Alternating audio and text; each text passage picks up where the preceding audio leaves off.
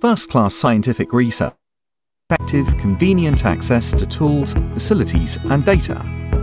Assemble Plus is a European Union-funded research and innovation programme with a consortium of over 20 partners that integrates key marine research facilities across Europe and beyond, offering access to top-tier research infrastructure through a competitive application procedure, evaluated on the basis of a feasibility assessment and research excellence.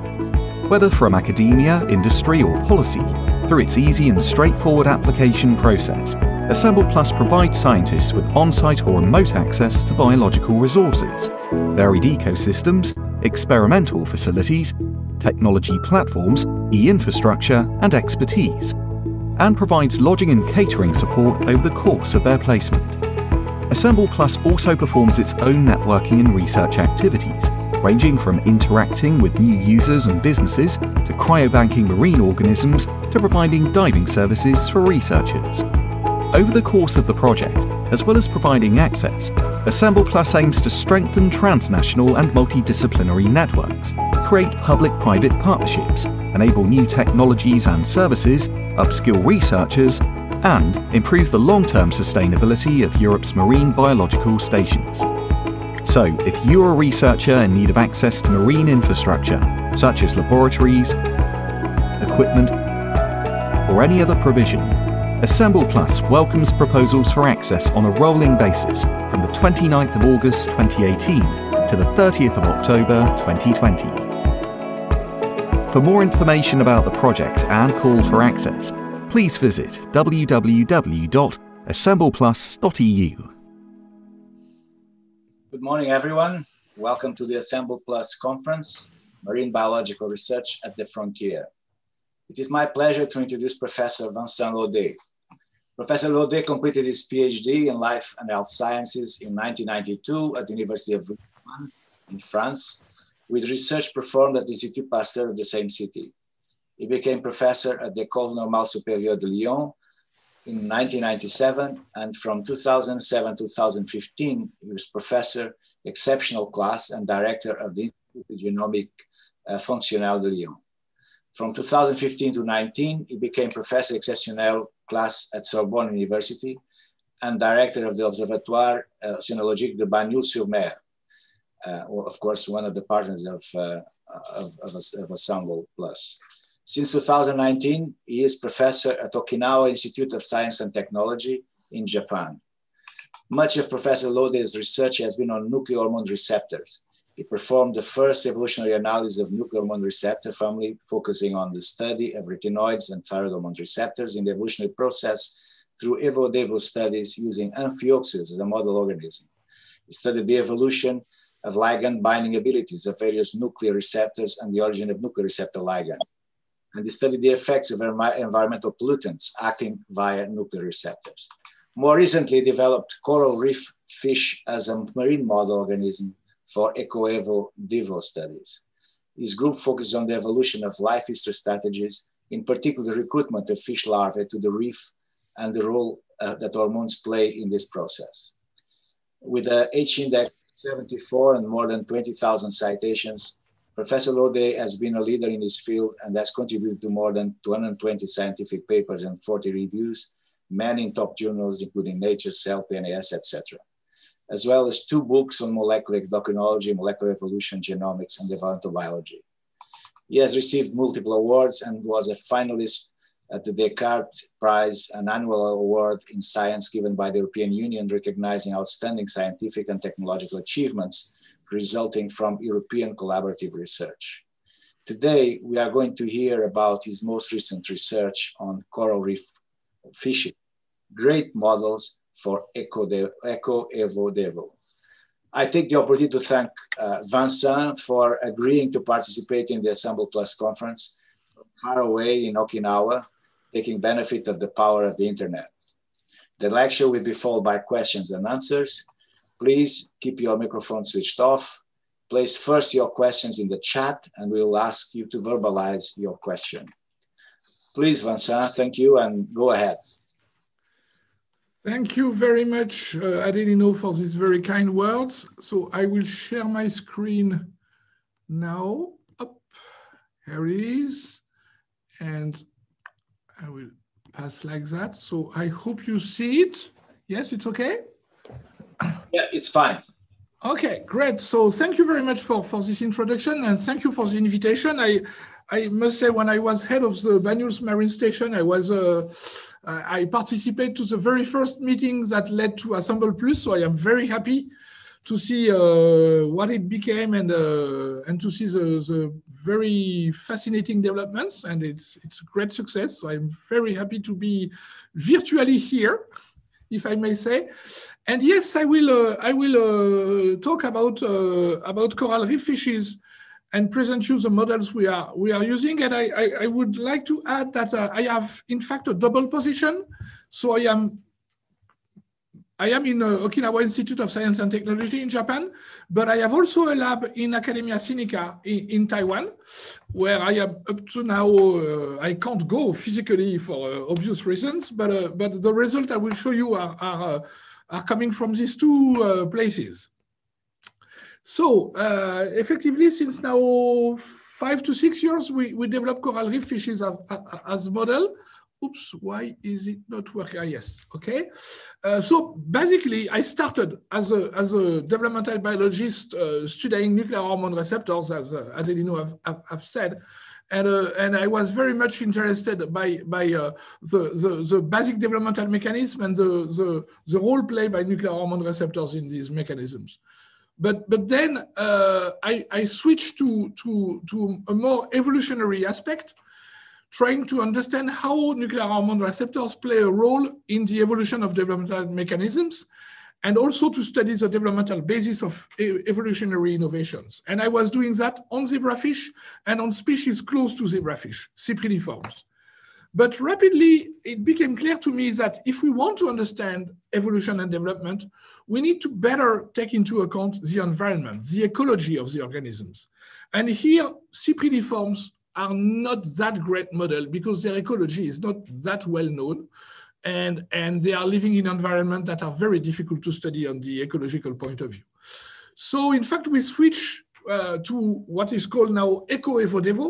And the question we are, of course, uh, tackling are how ecology are, is affecting development how it's, it's changed the, the developmental trajectories, and how also development affect evolution and ecology through uh, niche construction. And uh, you, you, will see a bit of that today. And we are, we are now applying this approach of Eco-Evo-Devo uh, to the question of life cycles. Uh, and you should realize that life, complex life cycles are in fact, the rule in the animal world. They are extremely frequent. Uh, they exist uh, in, in, in insects, they exist in fish, in cnidarians, in arthropods, in many organisms. And in all these cases, uh, there is environmental triggers that are critical in determining when the animal can pass from one stage to another and in, in, in, these signals are in fact integrated by the, the nervous system, the neuroendocrine system of the animal to regulate hormone levels. So for someone like me interested by hormones and, and ecology, evolution and development, it's of course very good because it allows ready to, to connect all these, uh, these, uh, these approach and these dimensions. So we are mostly focusing on metamorphosis. And metamorphosis is well known in vertebrates by the uh, transition between a tadpole to a frog. Sorry. So it's a spectacular and, and exquisitely coordinated uh, process post-embryonic that is known to be controlled by thyroid hormones. And thyroid hormones in, in, in the tadpole uh, uh trigger and coordinate uh, the transformation of the aquatic tadpole into a small terrestrial frog. And so it's known from a number of, uh, of experiments uh, that tadpoles integrate environmental and physiological cues through the hypothalamo-pituitary thyroid axis, regulate thyroid hormone level. And this, uh, there is a peak of thyroid hormones, uh, the precursor T4 and the active hormone T3, that coincide with the climax of metamorphosis, the period during which the change are the most spectacular. And there is also an upregulation of the receptors of thyroid hormones. And in, in Xenopus, it is the second receptor, TR beta. So there are two receptors, alpha and beta in vertebrates. So it's TR beta that is regulated by the hormone and that really trigger the whole process. And I, I will not enter into that today, but corticosteroids are also uh, playing an important role in that. So the, the biological question we ask in my lab, in fact, is, is to better understand how hormones control the various manifestation of metamorphosis. But as I told you, we are interested by real life, by the animal in its natural condition, uh, to be as close as possible to the, to the wild situation. And here, coral reef fish propose many variations in life history strategies. So many change, uh, subtle or more complex in life cycle, and there is, uh, there is since a long time a, a, large bunch of data on the ecology of these fishes. So there are many labs around the world studying the ecology of coral reef fishes. So these fishes are, are well known in, in, in this, uh, in this context. So we decided to use them as a model and and and and so I will present you the first uh, species on which we we worked, which is a surgeonfish the Acanthurus triostegus, uh, the convict surgeonfish, because he had bands uh, like the Dalton brothers, uh, and called also in Tahitian the manini. So it's, it's a classical life cycle of a coral reef fish. Uh, so you have, you have the parents laying eggs, a large number of, of eggs. It's hundreds of, of thousands every uh, two to three weeks. And these eggs uh, are, are, taken by the current and, and go to the open ocean because in fact the parents are spawning in pass in the reefs. And these eggs in the open ocean give rise to small larvae that are planktonic feeders. And in this species, these larvae will spend 40 to 50 days in the open ocean. And one day they will enter into the reef, transform morphologically very strongly from a small pelagic fish to a small juvenile uh, living in the reef. And this juvenile will, will live in specific nursery habitats in the reefs that are shallow water, calm, protected with not too many predators and a lot of food. And they will grow there during two years and then become adult and reproductively active. And something that is really great with this species is that uh, you can uh, capture them very easily by putting a, net at the crest of the reef. And the night without moon, so once per, per, per month, during two to three days, you can, the, the larvae will, will, entry, will enter into the reef and they use the, the night without moon to uh, try to reduce as much as they can the, the level of predation. And so you can capture synchronized larvae because the larvae in terms of metamorphosis, they decide to enter into the reef.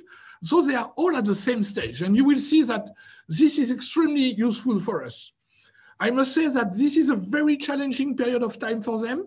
90% of the larvae are, are, are, are um, die during the first day because of predation, 90%, so it's really enormous. And, uh, and they lose 20% of their weight during the three first day of the entry into the reef. And I really would like to, to, to mention here David Lecchini from the CRIOBE, a lab that is both in Perpignan in France and Moorea in French Polynesia, because it is uh, thanks to David that we had an access to, uh, to this uh, fantastic system. So here is what it gives in, in real. This is uh, uh, on, on the top of the slide, you, you, you have a, a, a larvae captured at midnight at the crest of the reef. And as you can see, this is a typical pelagic fish with a shield, uh, a transparent body.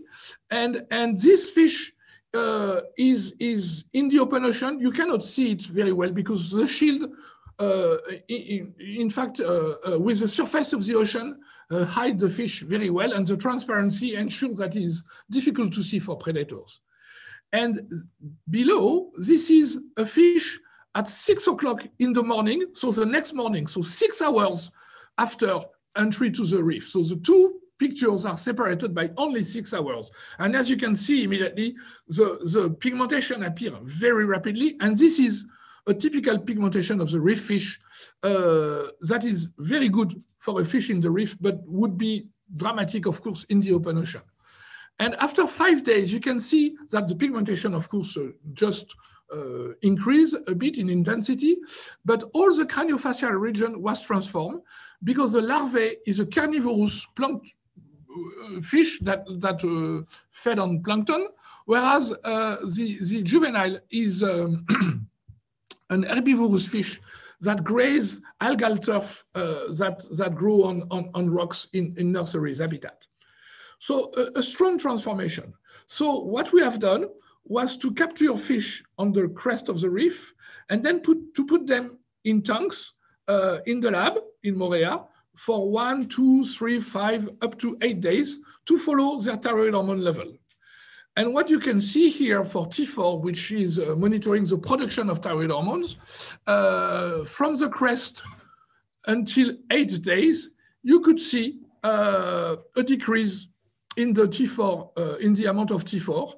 And we also captured, and it was very difficult, uh, very few larvae from the far and near ocean. And as you can see, you have also very a, a, decrease. In fact, the peak of thyroid hormone is in, in larvae that are in the near ocean. So you have somehow a peak of thyroid hormones, uh, even if we lack uh, larvae uh, uh, very early one. And if you look gene expression, uh, the expression of the receptors for thyroid hormones, and there are three receptors, T-alpha A, alpha B, and beta, and the expression of a very uh, classical target genes, uh, KLF9, you could see the same story. You have a peak uh, in the near ocean, and then a decrease when the fish enter into the reef. So this is very nice. And this suggests that the entry into the reef coincide with the metamorphosis. In fact, the entry into the reef is the end of the metamorphosis, uh, the lower part of the, of, of, the peak. But this is just a correlation. Uh, and we wanted to, to interfere with the system to demonstrate the role of thyroid hormones. And for this, we have two ways of, of, of two, two ways of doing that. The first, very simple, is to interfere with receptor activity that is to play uh, with the thyroid hormone receptor, so to treat with T3 thyroid hormones, or to block receptor activity with an antagonist that binds to the receptor but impair its activity. That is, and this antagonist is called NH3. But we can do also something else. We can change the environment. That is, we can capture the larvae at the crest and put it back in the open ocean, in the external slope of the reef, in cage, in the big blue. And it has been shown by McCormick Labs long time ago that if you do that, the larvae stop their metamorphosis and sometimes even revert to a, an oceanic pigmentation. So we use these two systems. And I will show you uh, the result on one endpoint, which is intestine length. So this is natural classical fish, uh, normal, normal situation, uh, where uh, you see um, the fish at the crest and then one, two, and up to eight days. And the length of the intestine is growing, which is normal because we pass from a carnivorous to an herbivorous fish. And it is known that intestine length is larger in, in herbivores than in carnivores in general. If you treat with thyroid hormone here in blue, you could see that uh, at, a, at, the, at the same age, there is intestine length that is a bit bigger. Uh, so suggesting that T3 accelerates the metamorphosis. If you treat with NH3, in, in contrast, you reduce internal intestinal length. In fact, it did not grow. And if you put bacterial hormones on the NH3 uh, um, treated fish to, to, uh, to check whether this could be a toxic effect, in fact, uh, you resume uh, the normal growth of the intestine. And lastly, in orange, if you put the fish on the external slope, as you can see, it's as if you block NH3 with NH3, that is you revert the fish to, a, to a crest style uh, uh, phenotype in terms of intestine. And this is true also later on at five days.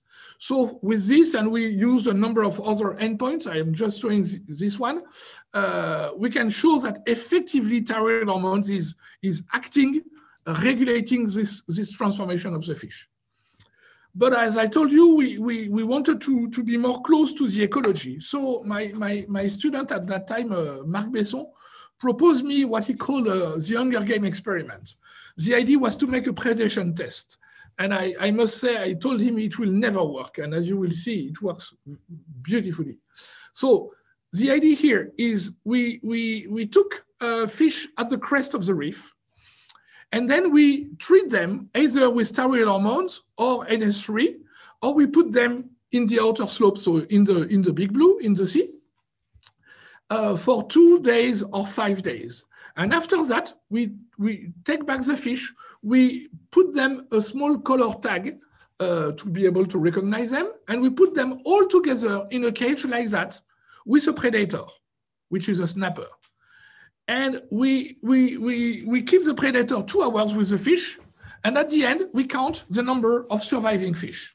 Honestly, I was sure it will never work. And as you can see, it works beautifully well. That is, these are the control fish. The fish treated with thyroid hormone survive better. The fish treated with NH3 or relocated to the outer slope survive much less. So our conclusion is that thyroid hormone play a role in the quality of the juvenile. When I'm saying quality, I say here the ability to escape predator. And of course, we don't know what it is, this ability to escape predator.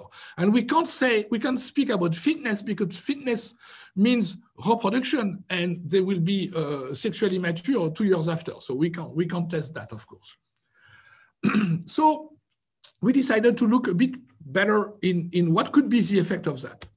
So uh, as it is known from the literature that thyroid hormone controls the development of many sensory organs, we decided to look to that. So I will show you that the, here's the story with the nostrils, uh, but you will see that we have, uh, we, we, we, we study uh, many different organs, the eye, the lateral line, and so on. So the nostril in these species are here, and you can see that inside the nostril, there is this lamellae, and these lamellae, in fact, are growing in number during, uh, increasing their number during the, the metamorphosis. And so we have done the same experiment that the predation test, take the fish at the crest, um, treat them with either thyroid hormone uh, antagonist or putting them in the external slope. And then after that, monitoring the number of lamellae. And as you can see here, with uh, somehow complex dynamic, uh, what we see very clearly is that thyroid hormone increase the number uh, of, uh, of uh, nostril lamellae, that is, uh, promote the development, uh, the maturation of this, uh, of this sensory organ, whereas NH3 or outer slope decrease it. So this is, okay, an effect on the organ, but does it mean something on the ability of the fish to smell? So with this fish, you can do behavioral tests. So here we have done a test quite simple. We put the small juvenile in an arena in which there are two currents of water parallel arriving and the current do not mix here. And we simply look after a, a, a few minutes where the fish prefer to go. And we compare normal water and water with a predator. So the water here came from a tank in which there is a predator. And so we test the ability of the fish to recognize this odor and to uh, understand it and adapt to that. So at D0, so very young fish entering the crest, they are not making very much the difference. But as you can see at day two, uh, the control fish makes very well the difference. And of course, they prefer the odor without the predator, the water without the predator. And now if you treat with thyroid hormone, they do that even better. If you treat with the antagonist, they don't do it very well. And if you treat if you use the fish that went to the outer slope, they in fact prefer slightly the odor of the predator. And then you start to understand the effect of the predation test. Because if they swim to the predator during the predation test here, we can understand the effect. Uh, I, will, I will not go into the details, but we have done very similar experiments on the retina cells and the ability to visually uh, response to the to the to the stimulus of the predator. So we we we give uh, to the fish the choice of going on one side where there was no predator versus a side where there was a predator. And as you can see, we find the same results. So the conclusion of this part is that metamorph the, the entry into the reef is uh, the, the colonization into the reef is uh, uh, thyroid hormone dependent metamorphosis. And in fact, the peak of thyroid hormone started very early on in the open ocean uh, and so the entry into the reef coincide, in fact, with the end of this process. And this is where uh, this model, which is, as you have seen, a very nice ecological model because you can capture them easily, you can manipulate them, uh, a, and you can do a behavioral test with them. Uh, it's not a very nice model because it's very difficult to have an access to oceanic larvae. In fact, we, we succeed in capturing nine oceanic larvae by renting a tuna boat during five days. So it was really a pity. Uh, so uh, so we will you will see that we will switch to a, to another model in a minute. But I, I want to, to, to continue on this model for a few seconds because uh, you know, of course, coral reefs are very nice place, but they are threatened very much. And among the many stress acting on, on, on uh, coral reef fish, on coral reefs in general, there is pollution, of course. And one of the, of the compound we decided to look was uh, chlorpyrifos, because chlorpyrifos is a pesticide uh, used heavily in agriculture and also in tropical agriculture. And in fact, it is used in French Polynesia and it, is, it has been found in micromolar doses in one uh, Acanthurus, not the same species than the one we are using, but clearly suggesting that there is effectively uh, uh, this compound uh, at relevant dose in the, in the, in the environment. And, and chlorpyrifos is interesting because it is known in a number of systems to decrease thyroid hormone level. And in fact, this is what we see here. If you measure uh, T4 at day two or T, uh, T3 uh, or T4, you can see a decrease dose dependent 1, 5, 30 microgram per liter of chlorpyrifos in the water um, in the in the Acanthurus uh, captured at the reef at the crest of the reef. And uh, so we, of course, decided to look the same endpoints that we have. We have I, I have shown you, and I will not show you uh, everything, but we test intestine length, we test grazing activity, and uh, we test uh, the uh, sensory organ development and the nostril lamellae. And you can see here a decrease dose dependent after five days. We can see also a decrease in the maturation of the lateral line canals. Again, dose dependent, very, very clear effect. And so we decided to do the predation test. And, and, uh, and as you can see, the result is very clear. If we compare the control and the stressed fish in the predation test, the stressed fish uh, uh, survive much less than the control ones. And this is the predator and this is the, the, the poor fish. Uh, now, we, we thought, okay, but we can go a bit further. That is, we know, uh, we, our hypothesis is that this effect of chlorpyrifos is due to a decrease of thyroid hormones. So if we are correct, it means that if in this fish we injected back thyroid hormones, we should be able to go back to a normal uh, predation level. So this is a rescue experiment, and we have done this experiment. And as you can see, we rescue partially, not totally, of course, but partially. If we inject thyroid hormones in the CPF treated fish, we have a predation level that is much better than the CPF treated fish, suggesting, and uh, to my knowledge, it's the first time that it is very clearly shown in the case of chlorpyrifos in such experimental setting, that, that uh, chlorpyrifos effectively impair the maturation of the fish in a TH-dependent manner. Okay, so now from this, we are, we are going uh, uh, to, to, a step further. That is, we, we, our conclusion here is that thyroid hormones is controlling the quality of the juvenile emanating from the metamorphosis. So we thought maybe uh, the next step would be to test if thyroid hormone could be a proxy uh, able to measure the quality of an habitat. So currently, my PhD student, Mathieu Reynaud, is in French Polynesia, and he is, uh, is um, taking fish at the crest of the reef, you can see here with my arrow, and he's putting the fish in various habitat, good habitat or very bad habitat, dead zone, or middle class habitat, let's say. And he will be able to compare uh, after that in these various fishes uh, their quality in terms of predation test, their level of hormones, uh, the progression of their metamorphosis, their behavior, uh, and so on. So th this will be able to test if we could use thyroid hormone as an endpoint to assess the quality of an environment for a fish. And we are preparing an expedition in for next December uh, in this atoll, uh, Taiaro in the French Tuamotu, which is a closed atoll with a lagoon that is totally isolated with more salty and more hot water. But there are Acanthurus inside the lagoon. So they are living in an environment that is different from the natural environment. And again, we will try to see if there is uh, a connection with the thyroid hormone in terms of local adaptation of these populations. Okay, so as I told you, uh, all this is very nice. This model is superb, but we can't have uh, very easily access to the early larvae. And this is why uh, we decided to switch uh, to develop a second model. So we are still working, as you have seen, on the on the on the but we develop uh, another model, and this other model is the clownfish Amphiprion ocellaris, which we think will will become an experimental model uh, of interest.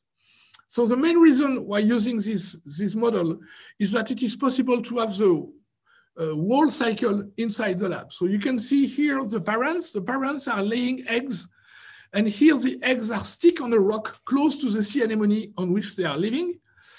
And, uh, and there is an embryonic development that is very long, seven days when compared to, uh, let's say two days in most, in many fishes, not all of course, but many fishes like the zebrafish.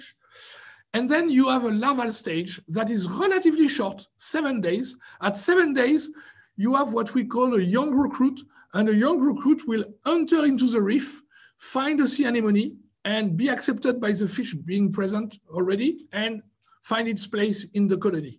So all these post-embryonic development period here is in the open ocean, and then the fish will have to enter into the reef and, and find a sea anemone. And you can reproduce all that in the lab quite easily. It's not zebrafish, but uh, but uh, still it's it's possible to to do it.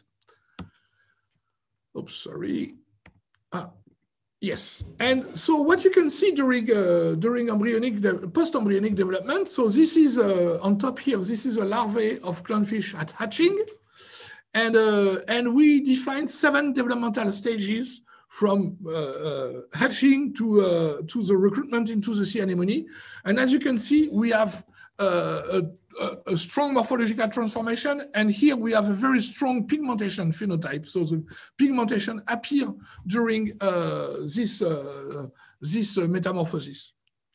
And Natasha Roux, uh, who was a PhD student in my lab uh, at that time, who is now a postdoc uh, in, in the lab in, in Banyuls, Natasha uh, have done a transcriptomic analysis of these post-embryonic stages. That is, she selects three larvae per stage, uh, so seven stages, three larvae, 21 fishes, and we have done a complete transcriptomic analysis of the complete larvae, no dissection because they are much too small uh, at the beginning.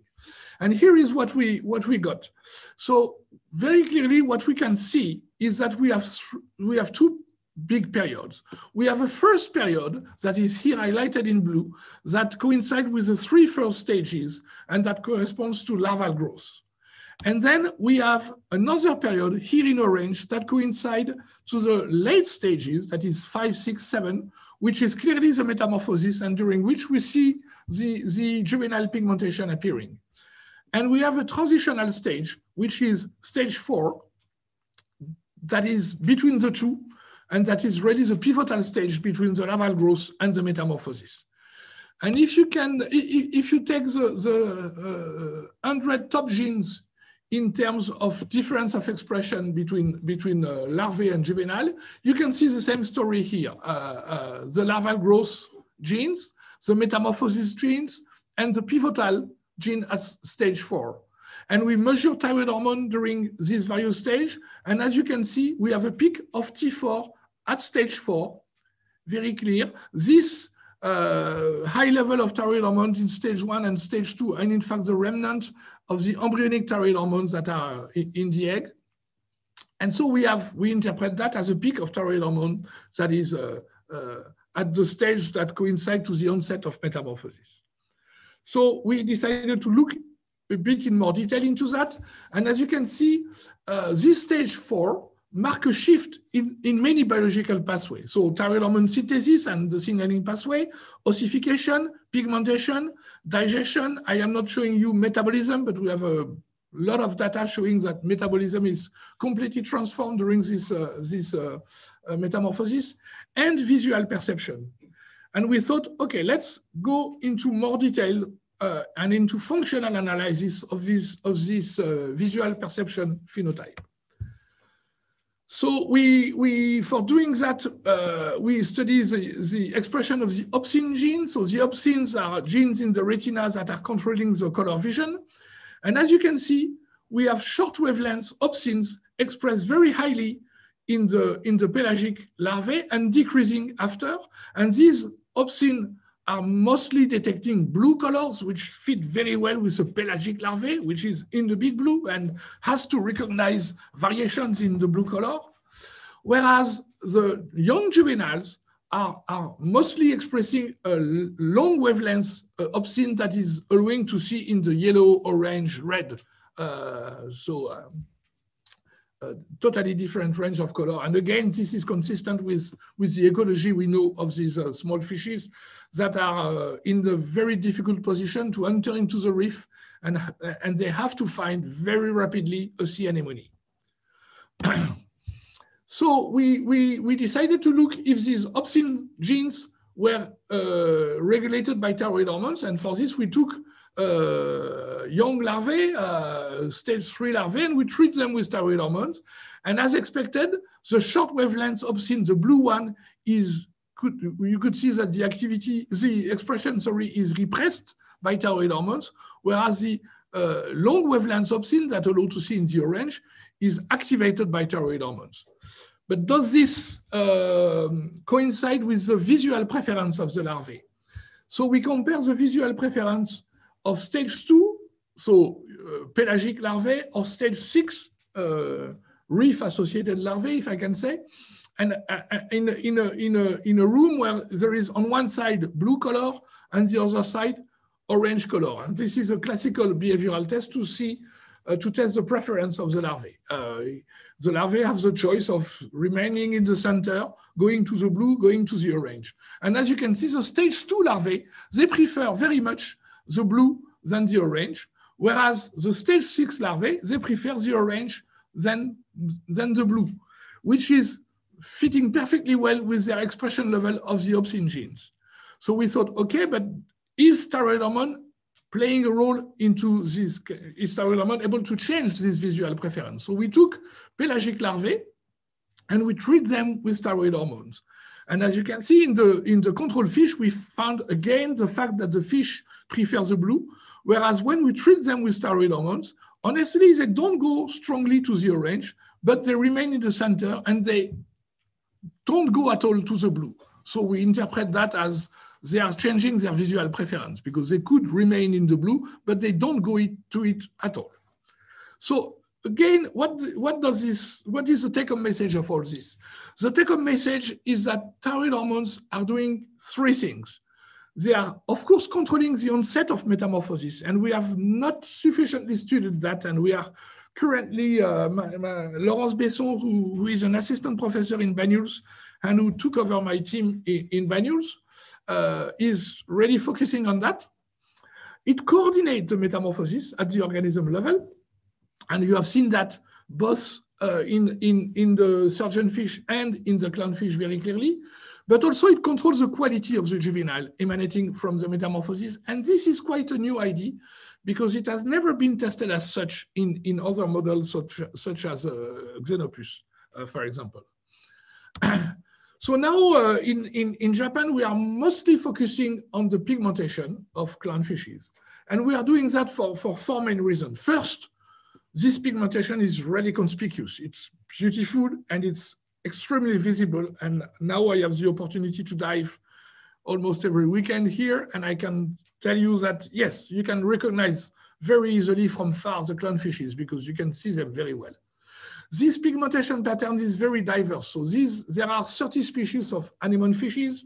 And as you can see, they have always a pigmentation with uh, white bars, uh, except few species uh, that are quite conspicuous. but this is very variable with the number of bars changing from one species to another. and as you have seen, this pigmentation occurs during metamorphosis. And you will see, and I will go, sorry, in more detail in a minute, it is polymorphic. it can change from one, uh, one environment to the other. So we decided to look if the pigmentation was regulated by thyroid hormones, of course. And the answer is yes. So Pauline Salis have done this experiment in, in my lab. So if you take a, a five-day larvae, you, you, you uh, treat it with thyroid hormone, as you can see, the white bars are appearing more rapidly than in the control. And if you do the reverse experiment, you take a nine-day larvae, uh, you treat it uh, with MPI, which is a, a, a, mix of drug that block thyroid hormone secretion, you could see that in nine day, uh, at night, at day nine, you don't see uh, white bars in, in the MPI treated fish.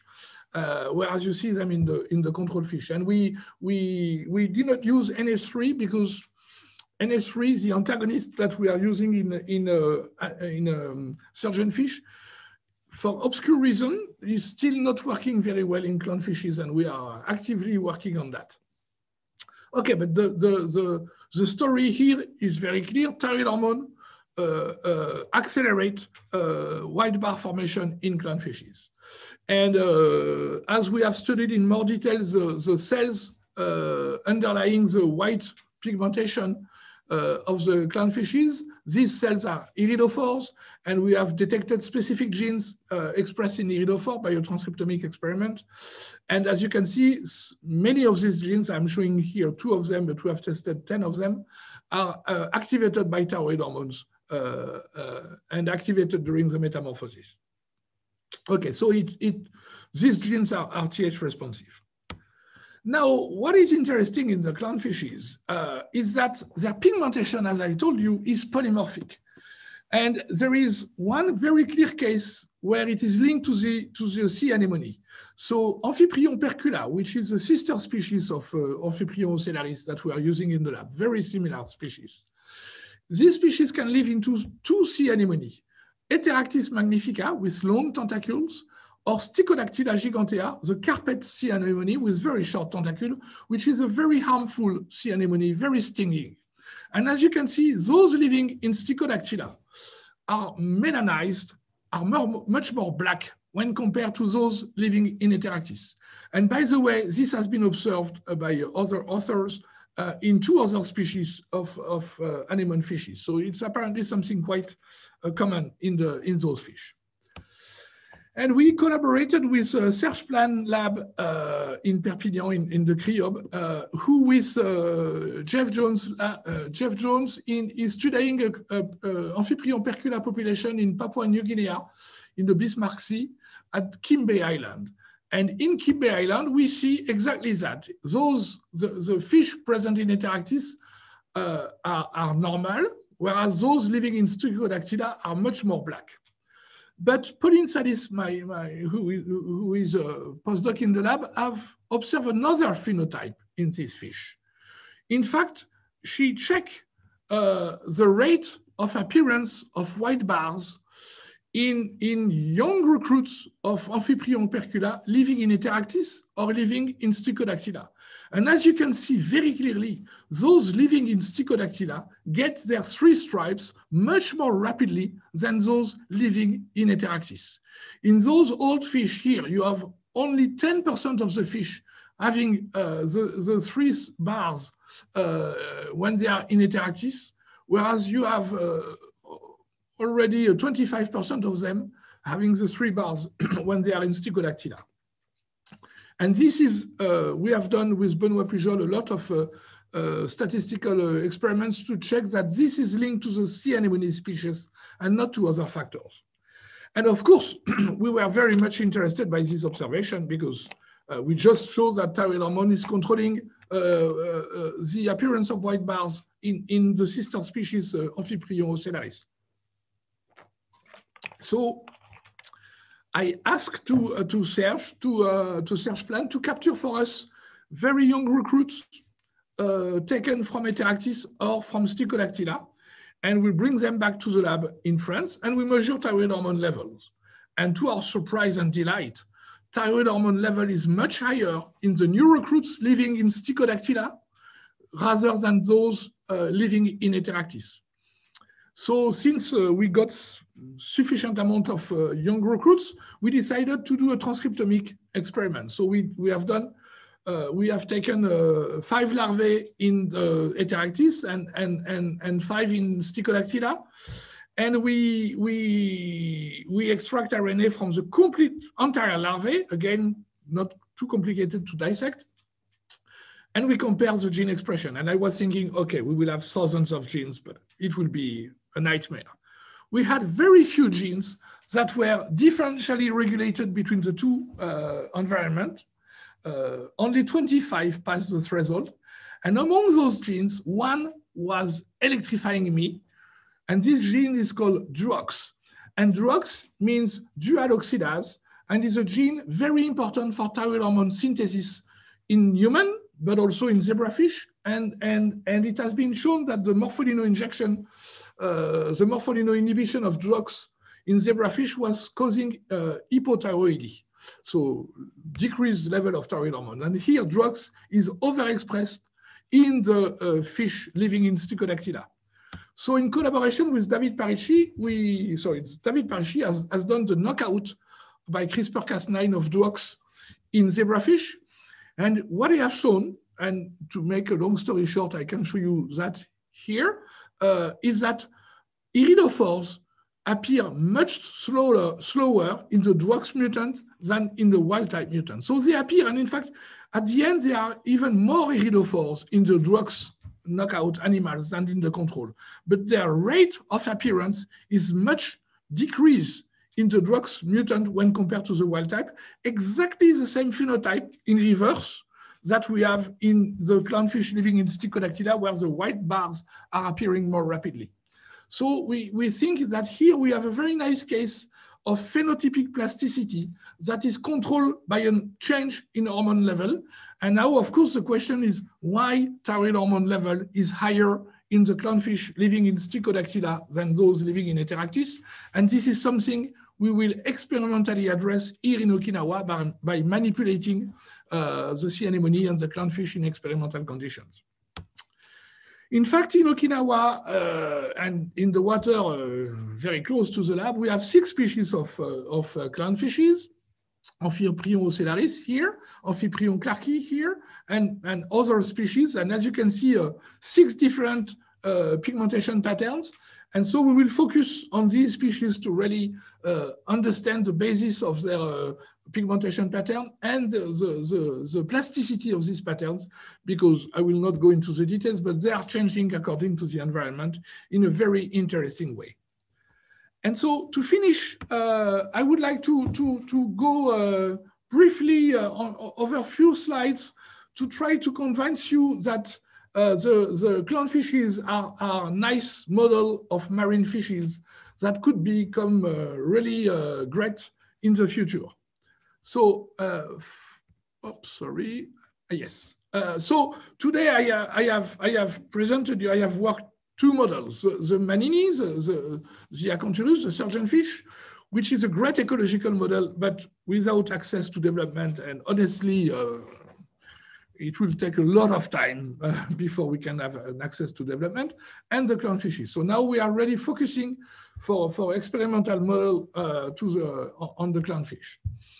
So these fish are relatively easy to breed in, in, in, uh, in a husbandry. So they are living as uh, isolated couples in 60 liter tanks and uh, without sea anemone. Uh, we just put a terracotta pot and uh, if the fish are nice, they lay their eggs on the pot if they are not nice, they lay their eggs on the glass, but normally they lay the eggs on, on the pot. And the, the female is defending the colony, the male is taking care of the eggs. And you can see here the fry developing in, in, in small tanks. And we have, uh, uh, so the, the raising the, the larvae uh, is really delicate, so much more difficult than, than zebrafish or medaka, but you can do it with rotifers and artemia.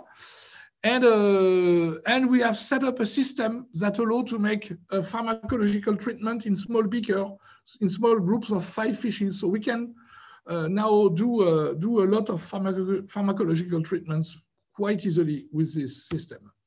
So we have really pushed the model. So we have uh, uh, uh published two years ago now complete post-embryonic developmental staging uh, in developmental dynamics. And today, in fact, we have submitted to developmental dynamics a second paper describing in detail the embryonic developmental stages. We just have in press in JSB uh, a description of all our husbandry methods. And we uh, are collaborating with uh, Nicolas Salamin lab in Lausanne, who has done genome studies, and they have now uh, complete genome sequence of each of the 30 species of clownfishes. And the CRISPR-Cas9 uh, is coming. Fabio Cortesi in Australia have, have shown a very promising result, and Masato Kinoshita in Kyoto, with who we are collaborating, have also generated uh, a, a, pigmentation, uh, a tyrosinase uh, uh CRISPR-Cas9 uh, mutant in clownfishes. So I think it will come very rapidly now in, in routine. Uh, something really great for pigmentation is that there are many pet shop pigmentation mutants that, that were developed by, by companies because they are nice and uh, people like to, to buy them. But of course, these mutants are extremely interesting for people that wants to understand the, the, the, basis of pigmentation. And we are currently uh, finishing a paper describing all the pet shop mutant and natural variants present uh, to show what can we say on the pigmentation patterning system that is, that is laying behind that? And something that is really great with clownfishes is that their social system makes them great ecological and functional model in the lab. So the social system is quite simple. You have a dominant female that is defending actively the colony. You have a smaller male uh, so you have a strong size hierarchy, and the smaller male is taking care of the eggs. And then you have non-breeders, juveniles, ranked by order, minus one, minus two, up to minus six, uh, depending of the size of the sea anemone. And these uh, juveniles are on a queue for reproduction. If the, the, the male die, uh, the first juvenile will become a male and will reproduce on the female. So if you consider the Pixar movie, in the Pixar movie, uh, Nemo, uh, the, the mother of Nemo die. And in real life, it means that the father of Nemo will transform into a female and Nemo, who is the biggest juvenile, will transform into a male and make babies with his former father who became his wife. And now you understand why Pixar have changed a bit the movie. By the way, uh, this uh, is a very nice system because, of course, you can study sex strength and you can control it because if you leave out the male, uh, this one will, the first juvenile will transform into a male. If you leave out the female, the male will transform into a female. You can also uh, study the inter-individual competition. And there is a lot of aggression, there is a lot of communication, visual, by sound, because they are producing noise. You have a social control of growth you have competitive growth between juveniles when they are of the same size. So you have a number of questions that you can handle with, with such a, a, social system. And now the good thing is that in fact, in the, in the, in the wild, clownfish never leave their sea anemone. And so you can make individual long-term monitoring. That is, if you are seeing a fish in a given sea anemone, you come back two weeks after, it is the same fish you are sure of it. And you can, by the way, test it by doing fin clips. So you can do long-term functional experiments in the sea, like exchange of sea anemone, change of colony structure, behavioral test, fin clip, mucus uh, extraction, access to the egg, movie, long-term monitoring, and so on. And, and of course, combined with the possibility to, to manipulate the fish in the, in the lab, this gives a bunch of tools that are very promising. So I just would like to mention one case that is really spectacular, that is done by a series of Australian, American, and French lab, which is a quite unique long-term field experiment at Kimbe in Papua New Guinea. So Kimbe is here in Papua New Guinea in this big bay. And in this big bay here, you have a small island here, very isolated. There is uh, more than 10 kilometers between, oops, between the island and, uh, and uh, its neighbor island. And in Kimbe Island, they have done a map uh, mapping every sea anemone present and, and capturing every uh, parents present taking fin clips, putting them back in the sea anemone, so they are they are okay. Huh? You have no no effect on, on, the fish. So they take small fin clips and they make fingerprints. So now they have fingerprints of each reproductive couple of uh, the fish in this island. And then they come every, oh, I have to, sorry.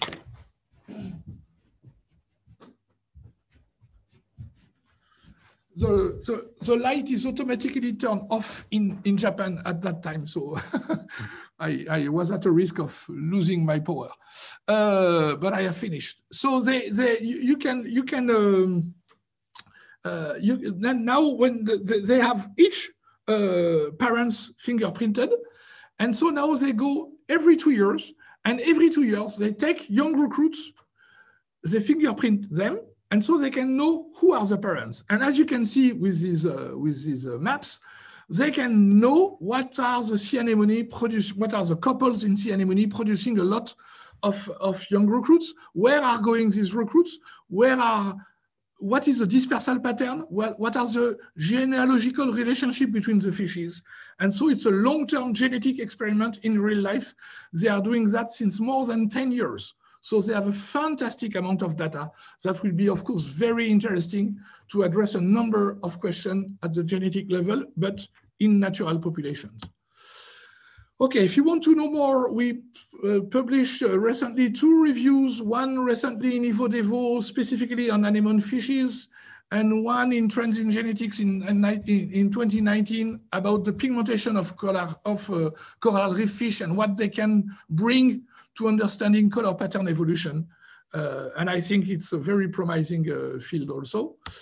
And I would like to thank uh, all the people in my lab, so people in my former lab in Banyuls, who are still very active. Huh? Laurence Besseau is still uh, uh, using clownfishes. And so the clownfish model is available to Assemble Plus people if they want uh, in Banyuls. And people in my lab in OIST and in Academia Sinica in Taiwan, the team of Tim Ravasi, who is also using clownfishes in OIST. So we have very good relationship and we share a lot of resources. I really would like to thank the people of the CRIOBE, uh, David Lecchini, Benoit Pujol, and Serge Planes, because without them, we would have never uh, uh, be able to start uh, on, on coral reef fish. They have been really instrumental in our, in our success. And David Parichy uh, in, in, in the US for, for the CRISPR-Cas9 in, in, uh, in zebrafish. And I thank you very much.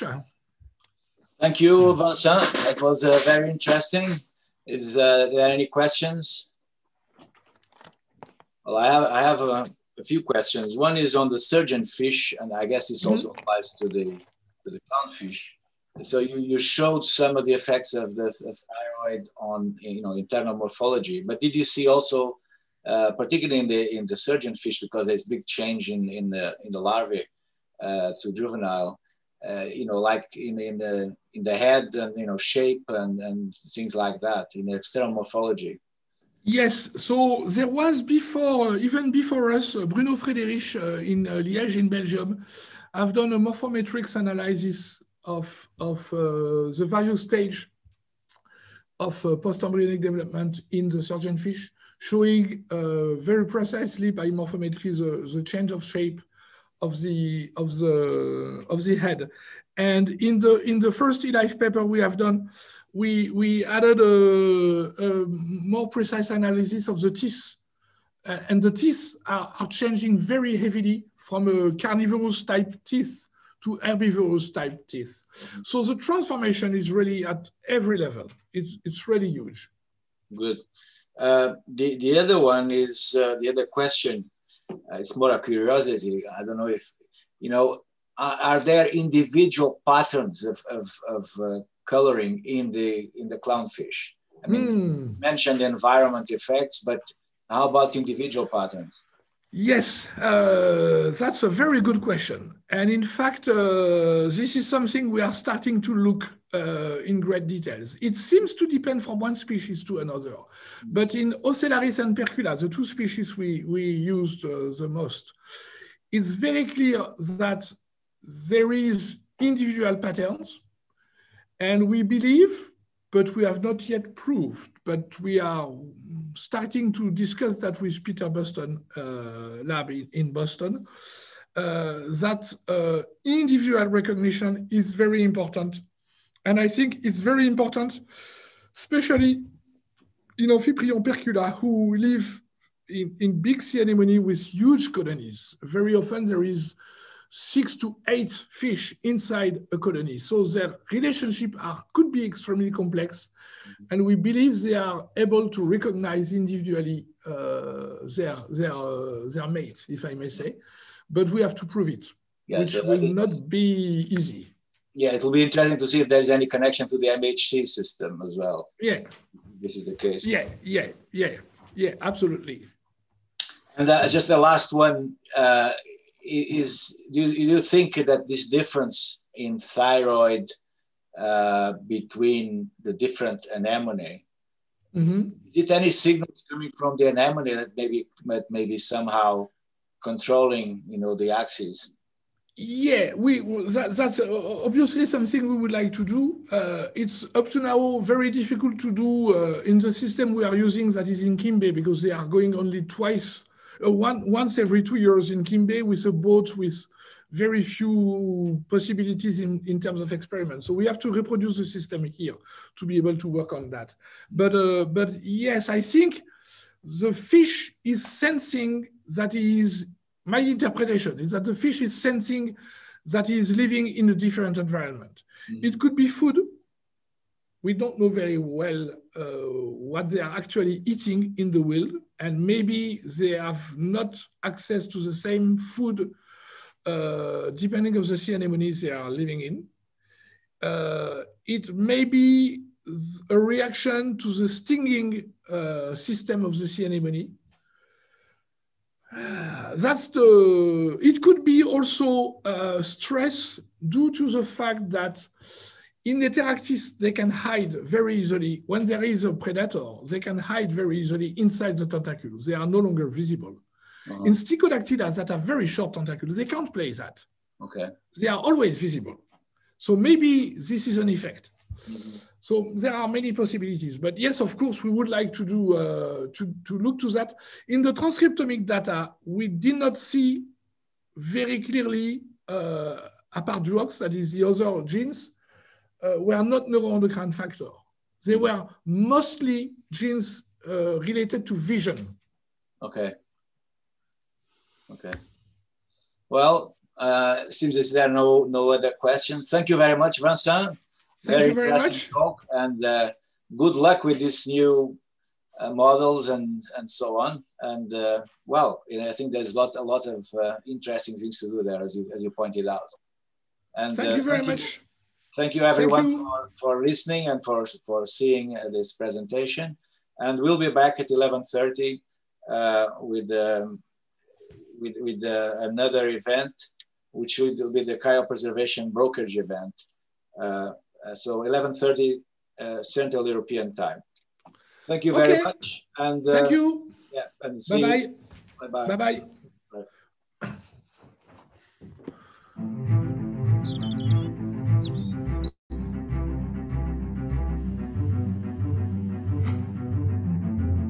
At NHBS, our purpose is to support those who are passionate about wildlife, ecology, and conservation.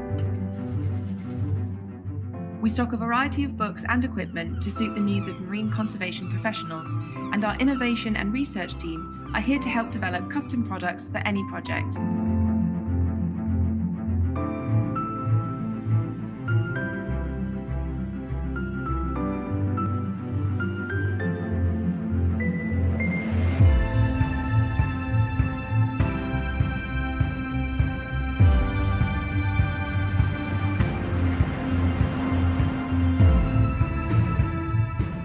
Are happy to provide advice and to support you before, during, and after your purchase.